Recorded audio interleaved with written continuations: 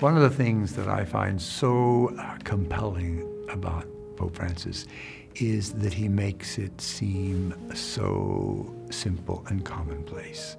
And now I'm reminding myself of that, that the call to holiness and the call to exercise ministry takes place in the most ordinary things you do, that it doesn't have to be some extraordinary moment.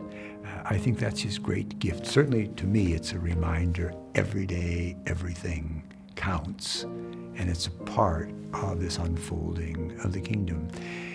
You see him do that. And uh, I find that not only a beautiful example to try to uh, imitate, but I also find this a challenge.